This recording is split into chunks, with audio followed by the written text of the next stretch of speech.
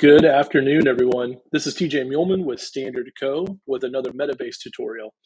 I'm calling in from very, very chilly Seattle, Washington. It's the end of February where we like to get one last, last little cold snap before spring comes in three months.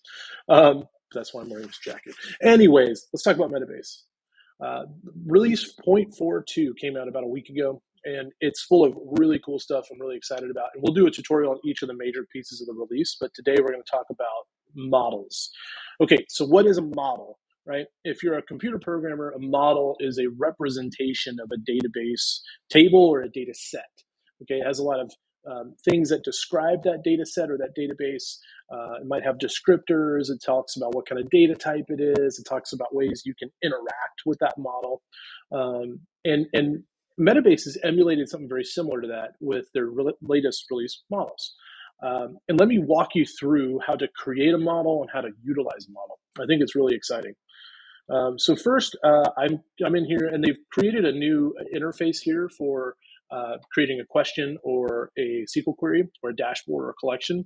I really like the fact that they had a collection here because adding a new collection is something we do all the time. We're very careful about how we uh, organize our questions and dashboards, and it used to be kind of buried. Now it's really easy to get to. Thanks, Metabase friends.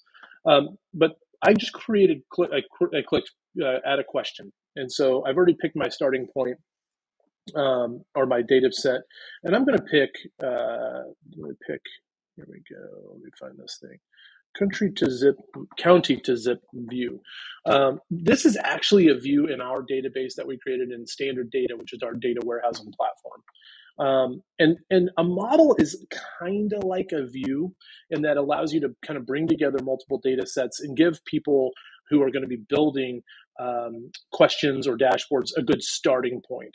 Uh, so this question is actually a, a, a, good example of what I want to show you. So um, the way you start with a model is you go ahead and get the data the way you want it. Okay. Um, and you go ahead and save this as a question. So the, it's a little bit um, clunky, if I'm, if I'm being honest, that you first start by creating a question. And let's just go ahead and call this county, county to zip view two. So I think I've already created one. And I'm going to put this in our demo dashboard section. Okay.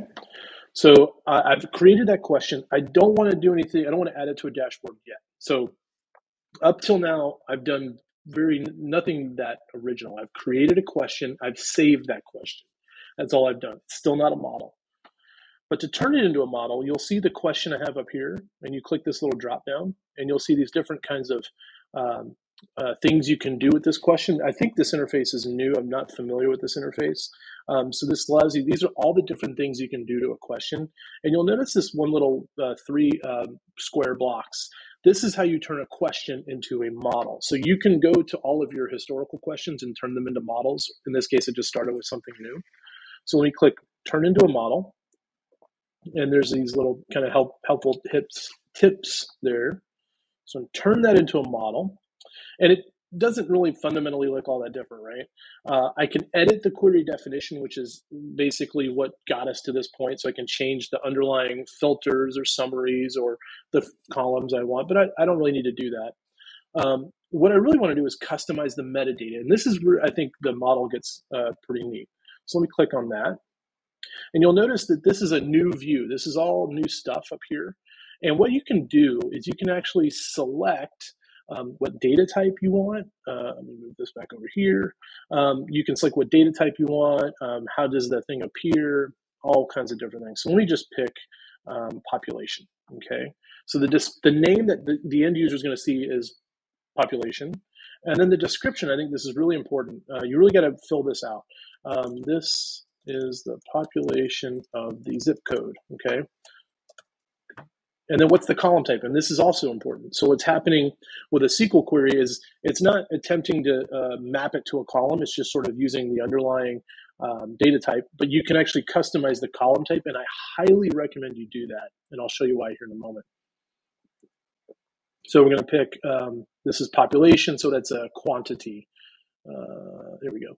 So pick quantity. And you'll see down here, this column should appear in table and details view or details view only. I'm just going to leave it as detail. and display as a text. There's nothing to link to.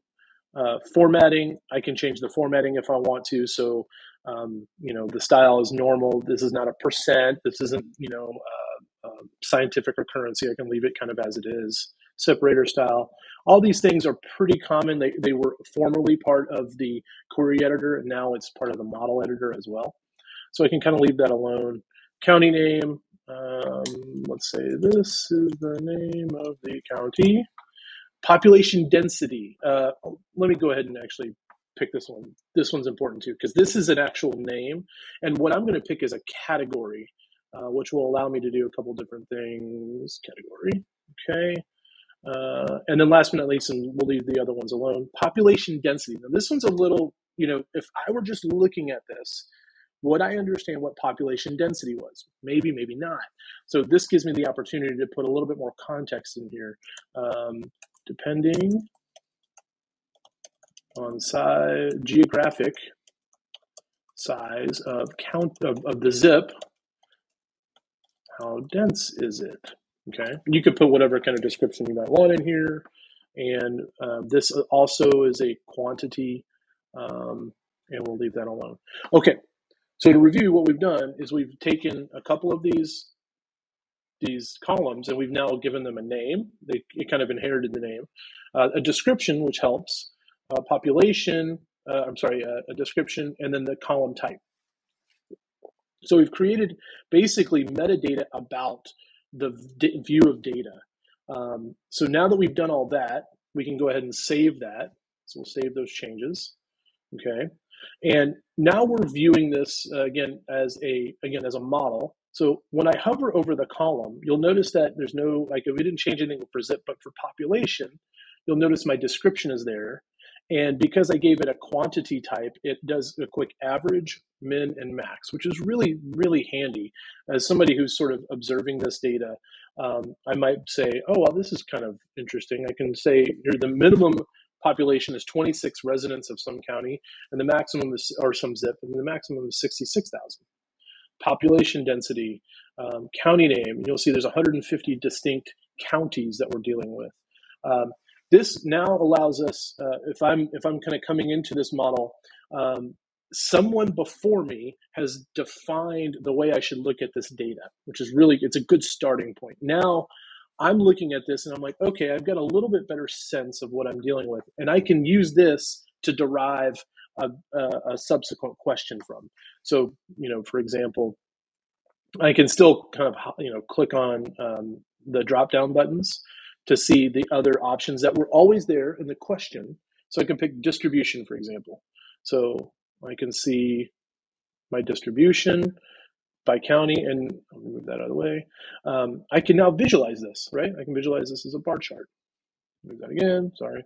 Um, so basically, I took that model and I said, okay, well, I see that county is a category, and I see there's 150 distinct counties. This is in Georgia, um, and I can now see the distribution. So I took that, I started with the model, and now I've created a brand new question, and I'm going to call this uh, uh, county to zip, or just counties by distribution. Just call it that. Okay, I can save that as a question, and I can now add it as a dashboard.